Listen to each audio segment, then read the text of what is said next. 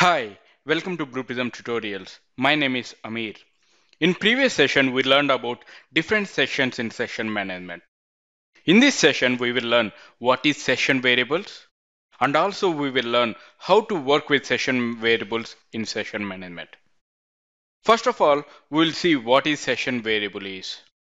Session variables are nothing but data items which are exposed outside of the process diagram. These session variables are applicable to sessions while running processes. Session variables are specific to the instance of the processes.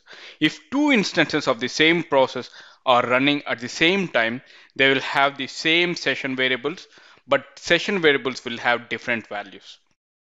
We can edit the value of the session variable while running the process. Now we are in the Blue Prism virtual workforce. Before going to run the test calculator from the control room, let me go ahead, let me make the small changes to create a session variable. Let me go to studio. Let me open test calculator. If you see over here, I'm having two inputs, input X, input Y. I'm having a addition stage over here and I'm having multi calculation stage over here. Let me go ahead, let me open this. If you see, I'm going to add input x plus input y plus result and I'm going to store the result in result. And after that, I'm going to increment the value of y i equal to i plus 1 and I'm going to store the value in i. Why I'm doing this? Every time that I'm going to add all these values with the result of with the result and then I'm going to store the result in result value. If the iterations or less than 1000 then it will goes to end stage.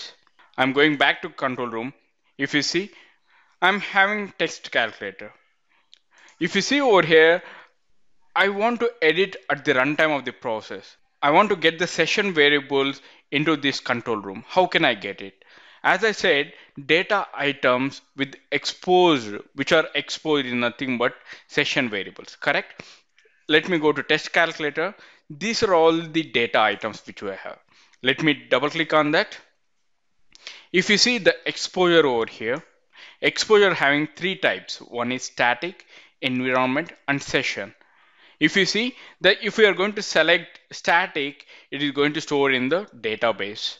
If you are going to environment, all over the environment, we are going to give the values, environment variable values from the system manager.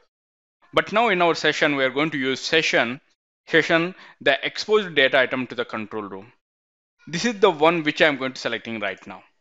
This is nothing but session variables and I'm going to say OK. And also in the same way, I'm going for the input Y.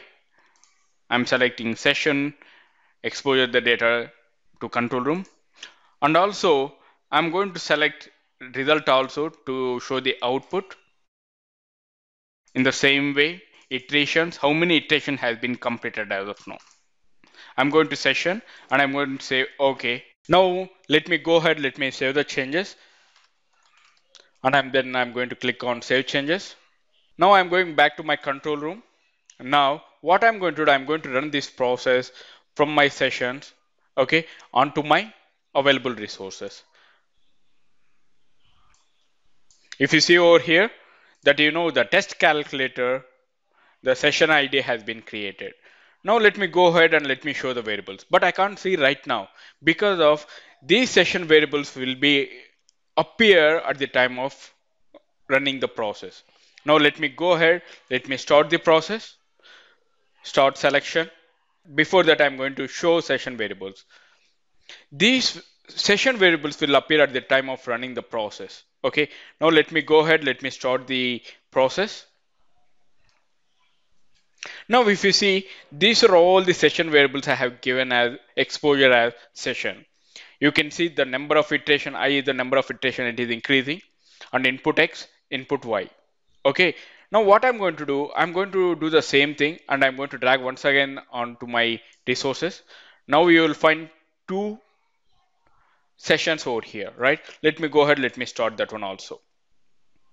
Now if you see, each and every sessions will be different okay if you're going to select anything any session id over here okay based on that that the values are going to be changing now what i'm going to do on my latest idea, I'm going to change the input value, editing the value, and I'm going to make it as 2000. I'm going to give it as 125 some values that I'm going to, and I'm going to modify it.